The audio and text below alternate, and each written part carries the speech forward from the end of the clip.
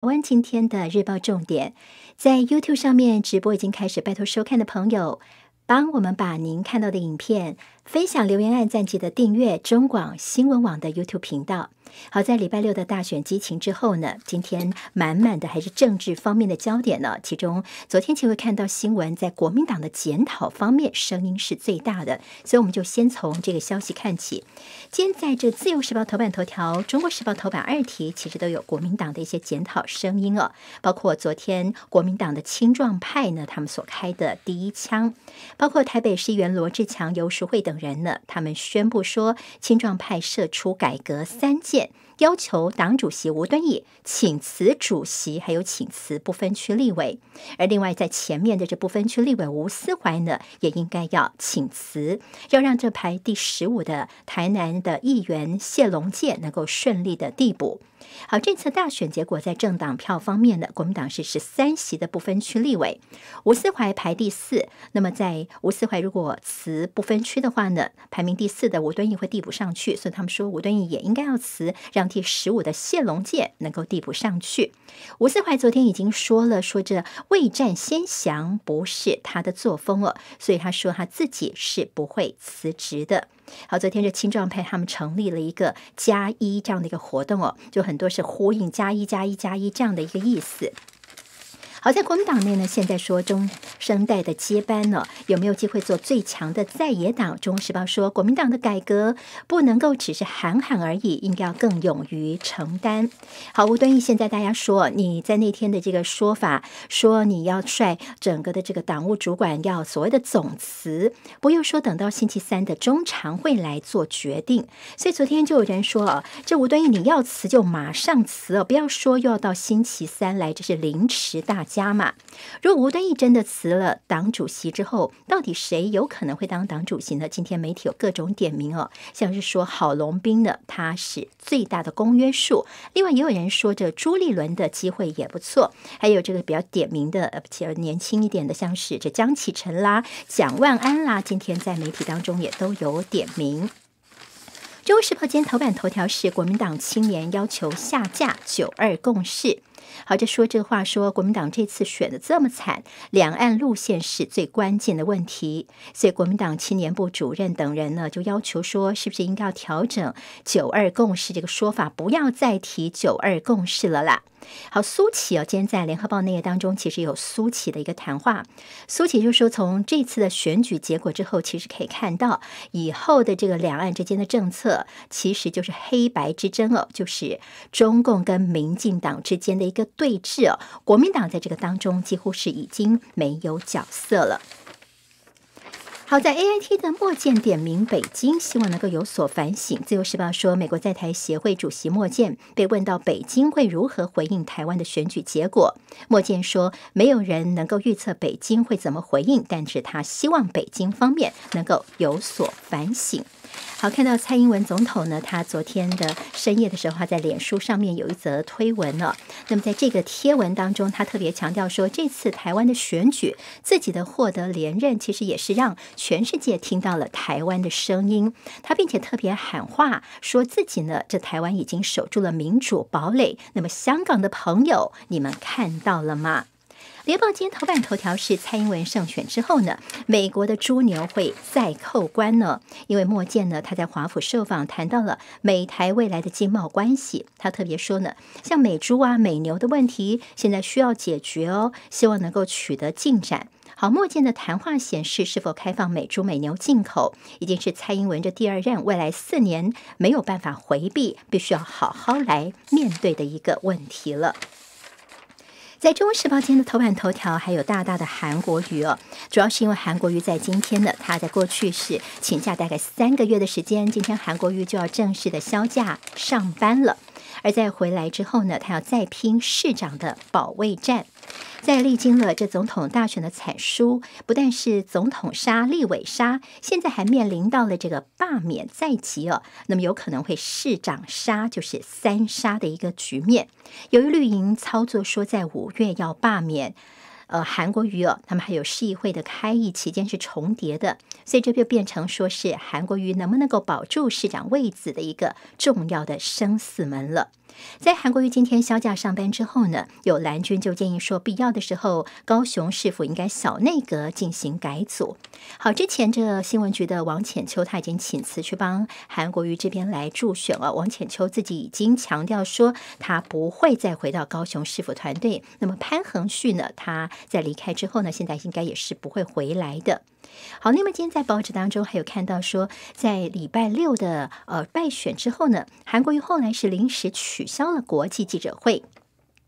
就造成了很多的这中外媒体的扑空了。那么这个消息昨天其实有些发酵，甚至有传出说他取消了国际记者会，其实是包括跟家人李嘉芬还有其他的一些竞选团队一起去吃锅。这个吃锅照片出来之后，当然对韩国瑜大家也会一些不同的声音出来。昨天韩国瑜是一天没有见人哦，他也没有什么相关的卸票行程。而今天在中国时报特别提醒说，如果你接下来要罢免韩国瑜的话呢，会不会小心在高雄又会面临到？再一次的撕裂呢？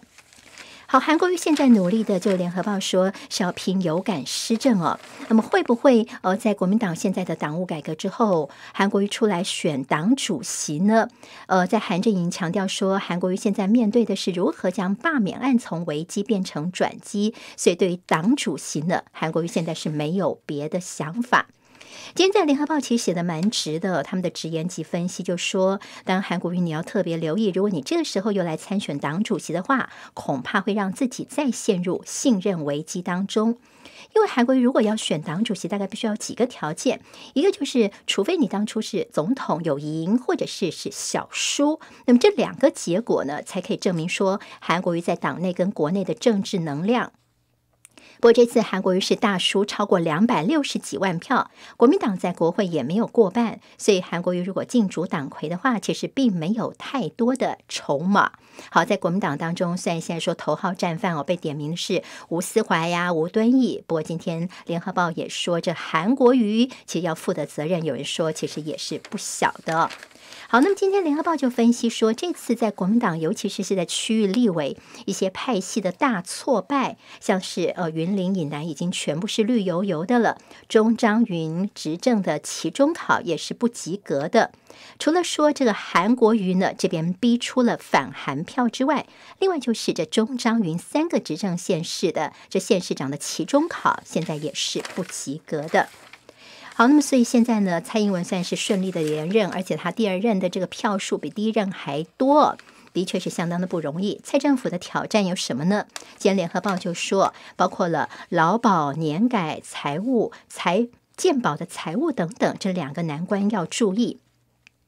怎么说呢？因为劳保这个破产年限已经提前到二零二六年了。另外，健保也有财务上的问题哦，这都是蔡政府第二任一定得要面对的问题。另外，蔡英文的连任效应，昨天有传出说，有国内的旅游业者呢说啊，接下来看来两岸大概不妙了啦，所以呢，这个裁减大陆的旅游部门呢，觉得说这大陆客来的机会应该不高喽。那么，《自由时报》间内页则谈到说，民进党这次在总统票算选的非常的漂亮，区域立委也选的不错，但是政党票方面其实是下滑的。这是民进党的一个警讯，党内人士就说，如果不把人民的信任度给找回来，那么两年之后的县市长选举，恐怕就会重演当初九合一的惨况。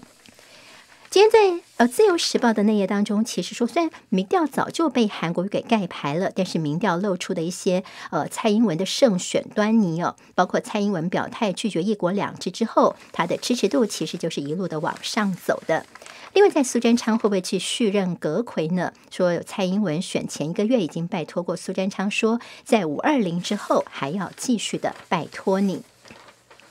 好，在新国会的龙头战，联合报分析说，呃，当然这这次呢，民进党又在国会当中取得了再度过半哦，所以现在的所谓昆昌配，就尤喜坤配现在的副院长蔡其昌的昆昌配角逐正副院长的可能性是最高的。不过党内有人支持民进党团总召柯建明跟立委陈明文来角逐院长哦，所以蔡英文的态度将是最后的关键。不过现在呢，又是一党独大，这单独过半，完全执政。联合报今天说，这多数暴力以后，立法院还会看到他们这样的一个橡皮图章了。